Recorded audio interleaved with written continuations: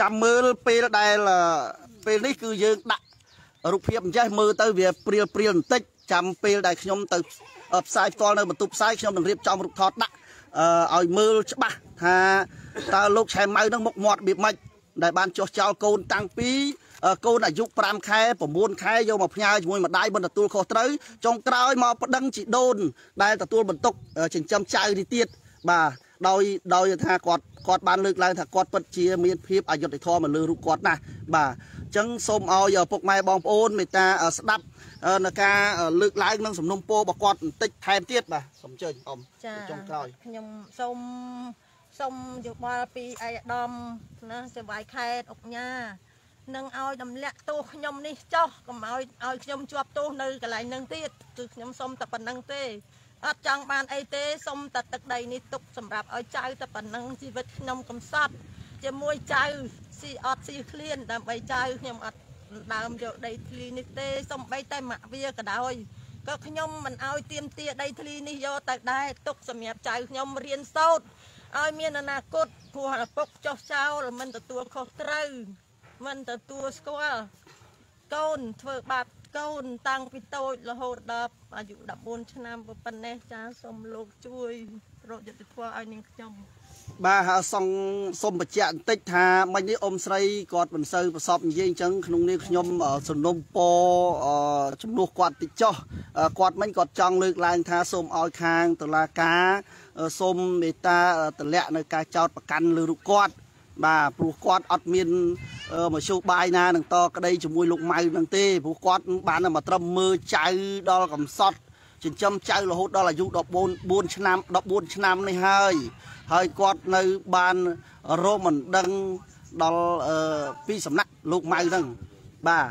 អញ្ចឹងសូមឲ្យអឺ អៃដំលោកជំទាវឲ្យលោកលោកស្រីបេតាជួយបាទគាត់ផងអញ្ចឹងសូមឲ្យក្មួយមើលក្មួយប្រុសអាចสนុំពោទៅដល់ឪពុកដែលជាអ្នកបង្កើតក្មួយហ្នឹងឲ្យឲ្យឲ្យបានថាឥឡូវក្មួយចង់បានអី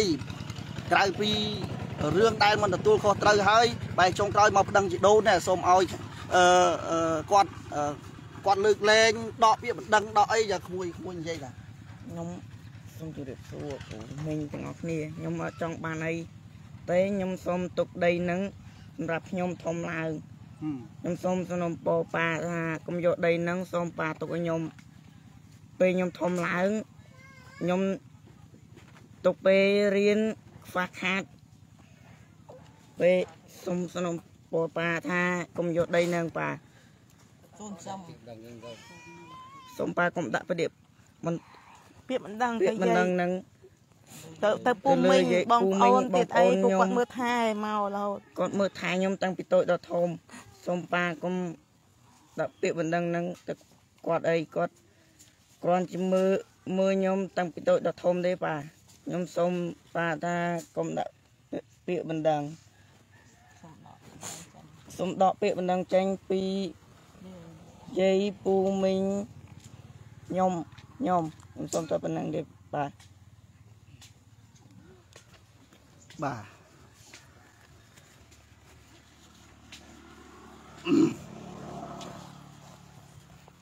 អធិស្ឋានពុកម៉ែបងប្អូនអឺ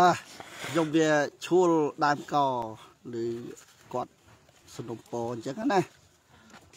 ចឹងអធិស្ឋាន ទឹកភ្នែកយ៉ាងនិយាយថាទឹកភ្នែកទាំងញាក់និយាយទាំងទឹកភ្នែកណាស្ដាប់រឿងនេះហួហេតុអធិស្ឋានសូមអធិស្ឋានសូមទឹកផឹកទឹកនេះបាទ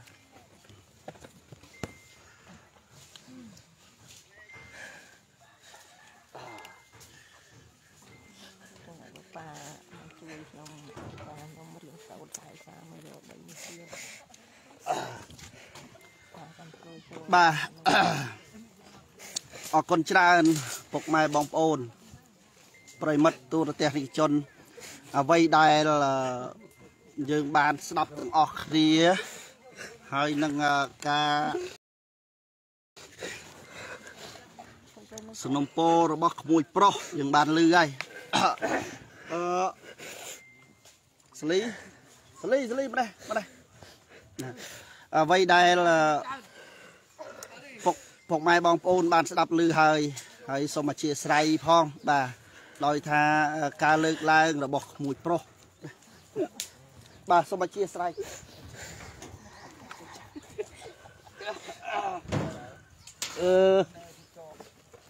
អឺទឹកភ្នែកទាំងអ្នកសម្ភារទឹកភ្នែកទាំងអ្នកត្រូវគេសម្ភារនេះបាទបងប្អូន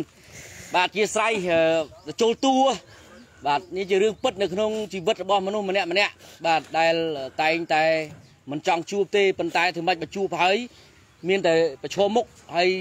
ដូចអ្វីដែលអ៊ំស្រីក៏ដូចជាបងស្រីក៏ដូចជាចូលជាតិចាញ់ណែនេះដូចជាកូនមកគាត់ណាបាទគាត់ទទូចហើយទទូចទៀតថាសុំតែ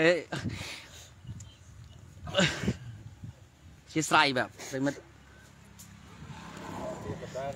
អឺគាត់ទទូចហើយទទូចទៀតថាដីប៉ានេះគាត់សុំទុកសម្រាប់គាត់ធំទៅព្រោះបើសិនជាប្តឹងដកដីយកនេះយកទៅទៀតតើអនាគតរបស់គាត់ពេលដែលគាត់ធំឡើងពេលដែលកើតមកឪពុករត់ចោលតាំងពីតូចទៀតហើយដល់ពេលធំប៉ុណ្ណេះត្រូវឪពុកប្តឹងជីដូនប្តឹងអីអឺតាក់ទងជាមួយនឹងរឿងដីនឹងទៀត ហើយគាត់រស់ក្នុងសម្ពាធជាកូនដែលឪត្រូវបានឪចុះចោលឬក៏ចាក់ចេញ បាទដោយនៅឲ្យម្ដាយនោះសัตว์ក៏ផ្សងព្រេងដើម្បីរកលុយបាទមកចិញ្ចឹមកូនហើយកូនរស់ជាមួយនឹងជីដូន បាទក៏ដូចជាបងប្អូនមិញមៀពូនឹងបាទតាំងពីតូច បាទនិយាយទៅ តាំងពីបាត់ជើងក្រហមបាទរហូតដល់14ឆ្នាំបាទ បងឆែម៉ៅបងប្រុសខ្ញុំហៅថាបងបហុកគាត់អាយុក៏មិនតិចដែរបាទសូមហៅបងឬក៏ហៅពូឬក៏ហៅបាទទឹកចិត្តជាកូនប្រុសដូចគ្នា ជាមួយដំណាក់ដែលលោកបានបន្សល់ទុកនេះវាជាឈាមបាទរបស់លោក បាទដែលលោកបានផ្ដល់កំណើតឲ្យកូន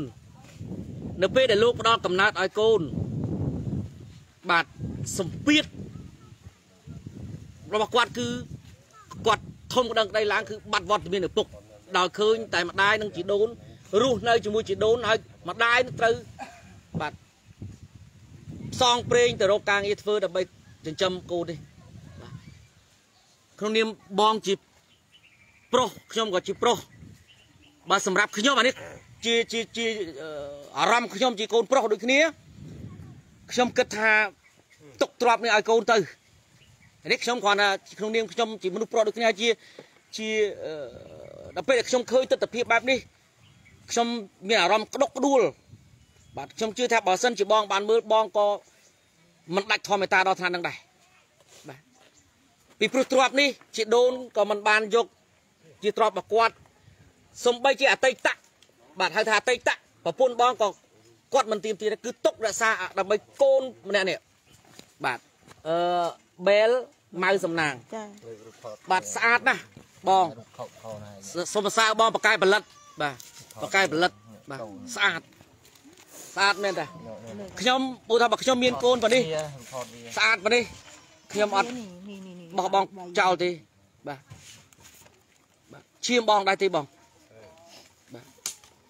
ធម៌ប្រពុតក៏លោកបានសម្ដែងដែរកម្មង្សសត្វទេវិភចតិ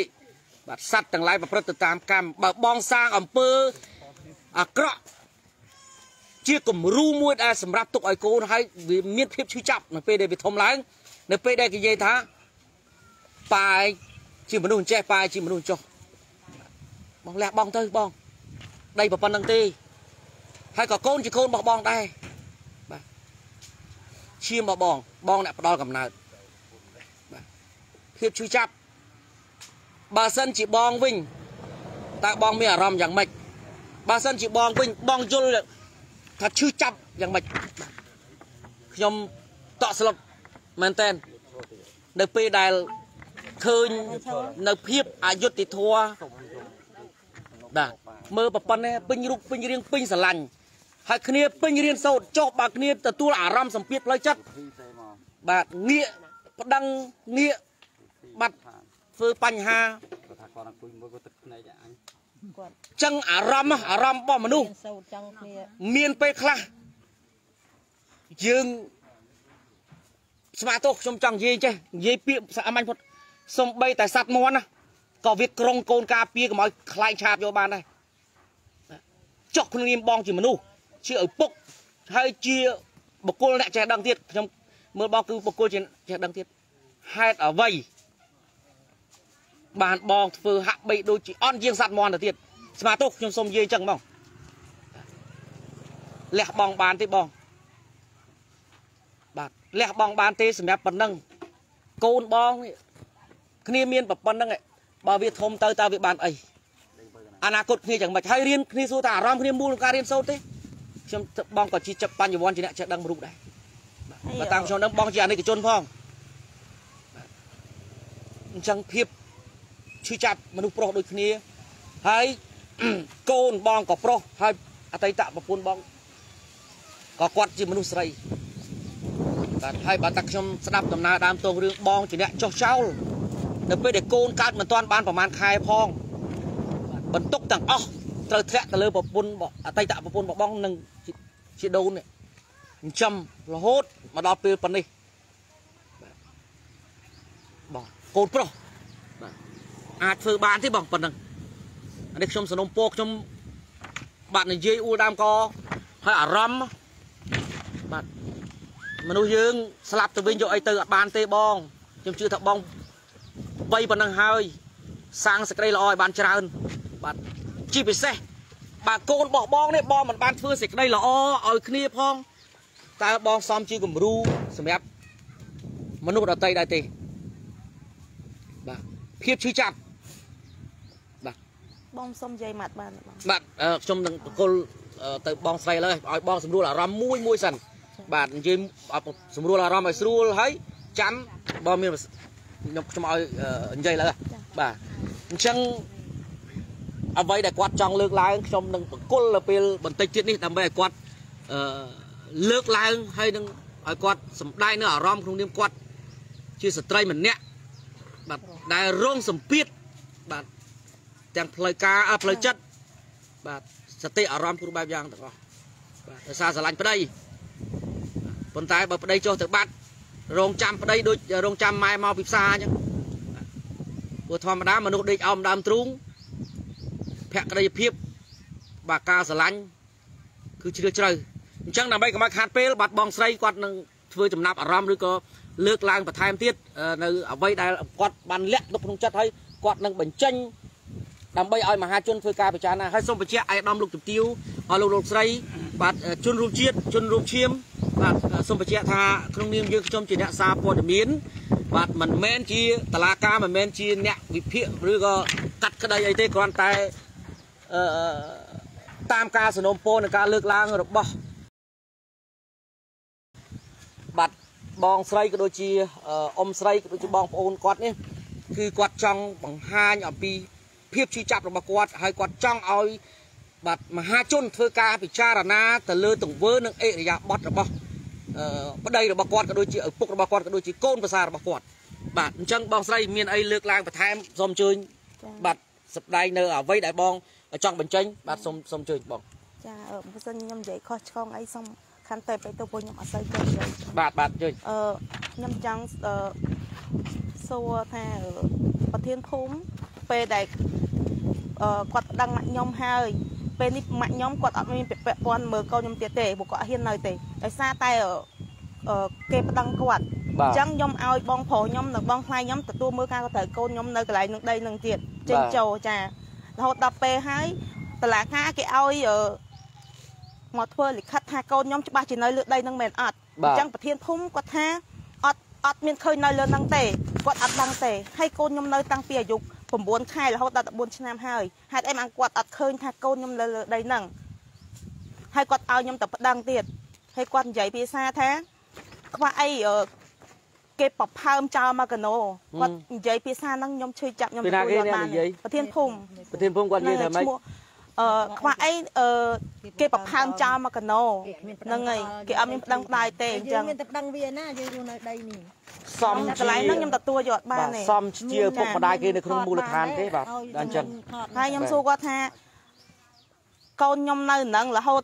តាំងពីអាយុ9ខែរហូតដល់14ឆ្នាំហើយគាត់គាត់ថានៅលើដីហ្នឹងណាបាទចង់សួរថាបាទភ័យគ្រូសាគាត់មានទាំងអស់បាទចេញចេញបន្ត ហើយខ្ញុំអឺត្រូវការបងម៉ាក់ខ្ញុំគាត់អឺគេប្តឹងគាត់ឲ្យគាត់អត់ហ៊ាននៅដែរអញ្ចឹងខ្ញុំប្រគល់សិទ្ធនេះឲ្យបងប្រុសបងខ្លាយខ្ញុំមើលកូនខ្ញុំបន្តទៀតអញ្ចឹងណាហើយអ្នកណាមកគាត់ប្តឹងចាតឡងនេះក៏អញ្ចឹងដែរឥឡូវគេកំពុងតែរៀបចំប្តឹងបងខ្លាយខ្ញុំបងប្រុសខ្ញុំទៀតហើយតឡងនេះគឺខ្ញុំអ្នកឲ្យលុយគាត់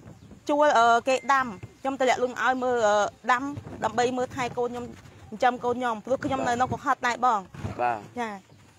ចាអរគុណគេរៀបចំដឹង បាទទៀតហើយ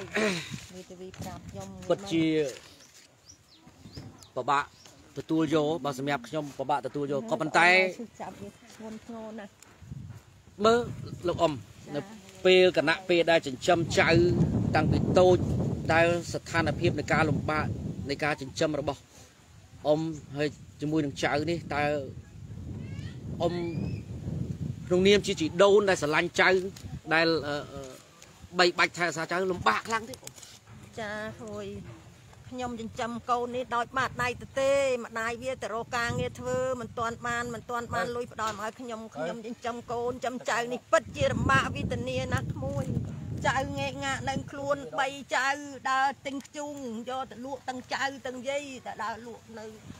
តាមស្រុកតាមភូមិគេទៅខាងចកាលើចកាអីចឹងមកវិញចៅសិតតែខ្ជុងយាយសិតតែខ្ជុងមកចូលដល់ផ្ទះបានលុយតិចតួចចិញ្ចឹមចៅឲ្យចៅចេះដឹងបានរៀនសូត្រដល់ដំណាក់កាលនេះ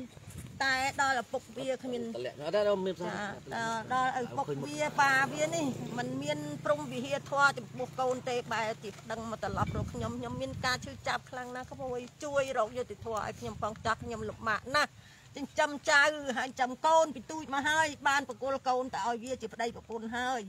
យកគ្នាបានជាគ្រួសារទិញដីទិញឃ្លីនេះហើយវាបាក់បែកគ្នា មានស្រីមានញីមួយពីរតទៅទៀតកូនខ្ញុំទីណាត់ទីណែងទៅចោលកូនទៅចោលម្ដាយឲ្យកូនរស់នៅជាមួយម្ដាយតាំងពីអាយុ9ខែខ្ញុំវិធានាខ្ញុំលំបាកមិនដែលឃើញមុខឆៃម៉ៅនេះមកជួយថាម៉ាក់នេះកូនខ្ញុំខ្ញុំជួយលុយម៉ាក់ ដើម្បីឲ្យកូនខ្ញុំទឹកដោះគោមកកំប៉ុងឬពីរកំប៉ុងអត់ទេក្មួយប្រុសគឺខ្ញុំនិងកូនខ្ញុំនេះសុទ្ធសាធចិញ្ចឹមកូនចៅនេះខ្ញុំលំបាកណាស់តែសុំចិត្តថាឈ្មោះម៉ៅនេះកុំដឹងផ្ដោតពីខ្ញុំក៏ខ្ញុំមិនខឹងសបាហើយខ្ញុំមិនតូចចិត្តទេតស៊ូបងតាំងពីអត់មានផ្ទះដាក់ពាក្យមិនផ្ទះខ្ទមរហូតដល់យកខ្ញុំមានលុយមកធ្វើផ្ទះឲ្យកូននៅអញ្ចឹងទៅព្រមមិនតាន់ទៀតឥឡូវផ្ទះនេះរើបាត់ទៀតហើយចារើលក់បាត់ទៀតហើយតែចាអត់លុយចឹងណាកូនលក់ បាត់ផ្ទះហ្នឹងទៅផ្ទះនេះម៉ែបងប្អូននឹកមើលខាងក្រោយពីមុនផ្ទះគាត់នៅខាងលើធ្វើឥឡូវនេះចាដល់ចាអត់លុយរើផ្ទះខាងលើហ្នឹងហើយគេប្តឹងគេប្តឹងច្រើនបងពេកអញ្ចឹងលក់ផ្ទះហ្នឹងយកទៅអឺដោះស្រាយដោះស្រាយរឿងហ្នឹងឯឡើងងតឡាការចុះឡើងចុះឡើងហើយកូនណាក៏រៀនជីវិតគ្នាតែជីវិតអោបងឥឡូវឆៃម៉ៅហើយបងឆៃម៉ៅឥឡូវវារៀនចូលដល់ថ្នាក់ទីអា7សូរទឹកនេះចិត្តម្ដាយក្មេងទេបងខ្ញុំលំបាកចិញ្ចឹមកូនបងតាំងពីបាត់ជើងបងអត់ទទួលខុសត្រូវហើយដាក់សម្ពាធផ្លូវចិត្ត អត់គាត់ទៀតអូបងបើខ្ញុំវិញអត់ធ្វើមនុស្សប្រុសកែទៅកែភេទទៅមនុស្សស្រីវិញមែនតាអូនយកទឹកឲ្យបងបាទបងឃើញទេផ្ទះដែលបងស្រីយកណាមកបានផ្ដល់ធ្វើឲ្យរហូតដល់ឥឡូវនេះអត់លុយសម្រាប់ចិត្តលក់មកកណាត់ដើម្បីដាក់ក្នុងជីវភាពបាទហើយកូនឲ្យរៀនថ្នាក់ទីប្រហែលហើយទី7ទី7ហើយ បាទបងសល់តែប្រហែលឆ្នាំទៀតទេចប់ទី12ហើយតាំងបើបងដាក់សម្ពាធផ្លូវចិត្តឲ្យកូនទៅទៀតសួរថាអនាគតវាគ្រានឹងទៅជាយ៉ាងម៉េចបងបើកបេះដូងបើកចិត្តឲ្យទលាយបាទមនុស្សបើបាត់គុណធម៌បាត់សច្ចធម៌ហើយចប់ចប់ហើយបាទអញ្ចឹងខ្ញុំជឿជាក់ថាបងនឹងបើកបេះដូងឲ្យទលាយបើកចិត្តឲ្យទលាយហើយដោយគាត់ អឺបច្ចៈមិញគាត់ថាสนុំពររុកយុតិធធគឺបើកុំឲ្យមានការប្តឹងផ្ដាល់គាត់ទៀតនេះគឺអឺគាត់ដោយសារឲ្យគាត់ឈឺចាប់ចិញ្ចឹមកូនឲ្យបងហើយបងប្តឹងគាត់ទៀតទឹកចិត្តម្ដាយក្មេកទោះបីជាគាត់មិនមែនជាម្ដាយម្ដាយបង្កើតរបស់បងក៏ប៉ុន្តែហើយជាម្ដាយក្មេកបាទចិញ្ចឹមប្រពន្ធបបងហើយមកចិញ្ចឹមកូនបងទៀត បងគិតពិចារណាខ្មើនលងសងគុណមកដាក់ទូបាទឲ្យខ្ញុំទៀតហើយគាត់តើកណាប្តឹងគាត់មានលុយឯណាអញ្ចឹងត្រូវប្រម៉ែប្រមូលឡើងទៅម្ដងម្ដងអញ្ចឹងហើយសហុយអីអញ្ចឹងទៅបាទអញ្ចឹងបានថាបងអើយសូមឲ្យបងគិតពិចារណាឡើងវិញដូចខ្ញុំលើកឡើងថាឈាមរបស់បងបាទកុំឲ្យมันបានចិញ្ចឹមគាត់ហើយបែរទៅជាដាក់បន្ទុកគាត់បន្ថែមទៀតបង អត់ល្អទេបាទមិនមែនជាមនុស្សប្រុសទេបាទសូមបងធ្វើការពិចារណាម្ដងទៀតបាទលោកអ៊ំមានអីបន្ថែមទៀតមានអូនចាខ្ញុំសូមសនំពរទៅកូនប្រសាខ្ញុំឈ្មោះអឺឆែម៉ៅនេះបាទណើអតីតពីដើមមកជាកូនប្រសារបស់ខ្ញុំណាខ្ញុំសូមវរណាកូនប្រសាដើមនេះឲ្យតម្លាក់ទោសកំហុសខ្ញុំនេះចេញទៅបើអាណិតដល់កូន ព្រោះកូនខ្ញុំចិញ្ចឹមតាំងពីអាយុ9ខែរហូតដល់14ឆ្នាំហើយកូនតើកូនมันបានអីតបស្នងសងគុណមកខ្ញុំគឺកូនតបស្នងសងគុណខ្ញុំដោយការឈឺចាប់ដាក់ពាក្យបណ្ដឹងឲ្យម៉ែឡើងទៅទោសព្រំបន្ទាន់មួយសាហើយមួយសាទៀត3 4 5សាហើយឡើងតឡាការ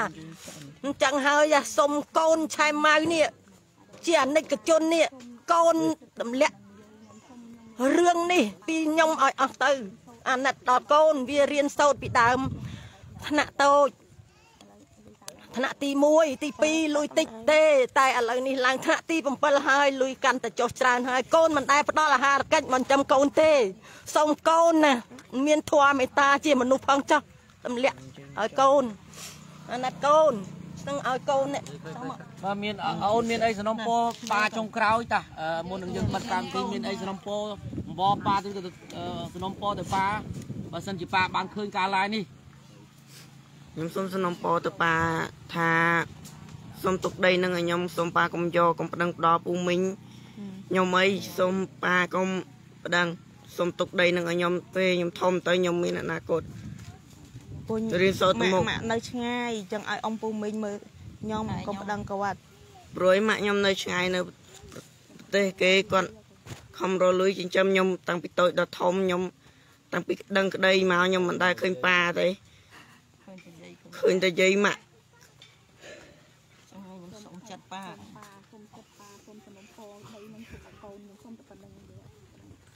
ខ្ញុំសូមសំណូមពរថាប៉ាកុំ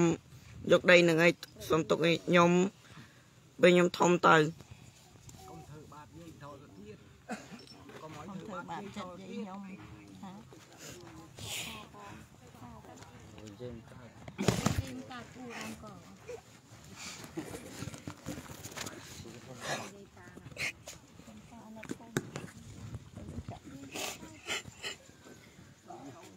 មិនមែនសំដែងទេណាពុកម៉ែបងប្អូនលែងប៉ុណ្ណឹងក៏វាមានចិត្តមានបេះដូងនឹងគិតពិចារណាវាសក់ទឹកភ្នែកប៉ុណ្ណេះគួរតែលពុកមើលឡាយនេះទៅឲ្យដេកកូនឆ្ងាពិចារណាទៅបើចិត្តជាកូនប្រុសបានឈប់យំ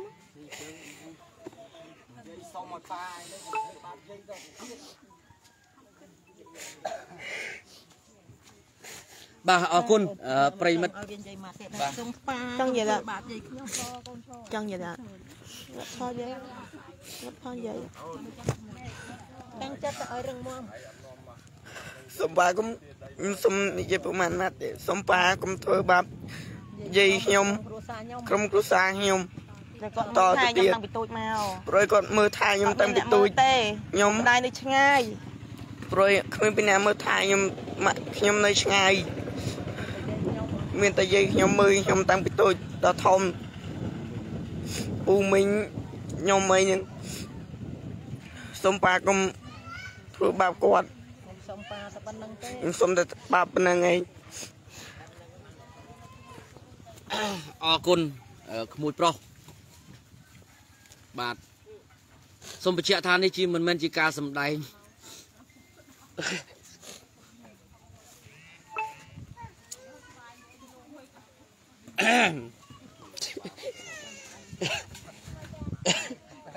អរគុណ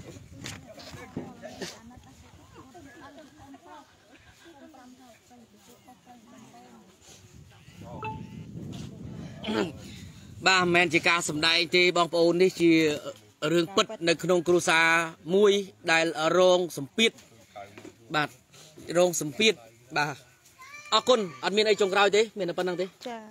បាទអរគុណបាទអាយដាមលោកជំទាវអស់លោកលោកស្រីប្រិយមិត្តជនរួមជាតិជនរួមភាសា បាទជនរួមឈាម ជាពិសេសខ្ញុំសង្ឃឹមនឹងជឿជាក់ថាយុត្តិធម៌នឹងមានពិតសម្រាប់អ្នកដែលរងគ្រោះបាទជាពិសេសគឺអ៊ំស្រី បាទក៏ដូចជា បាទក្មួយប្រុសក៏ដូចជាបងស្រីក៏ដូចជាក្រុមគ្រួសារគាត់នឹងទទួលបានភាពយុត្តិធម៌ពីបាទច្បាប់បាទពីអ្នកអនុវត្តច្បាប់ខ្ញុំជឿជាក់ថាបាទនឹងមានពន្លឺយុត្តិធម៌សម្រាប់ពួកគាត់នៅពេលខាងមុខនេះបាទ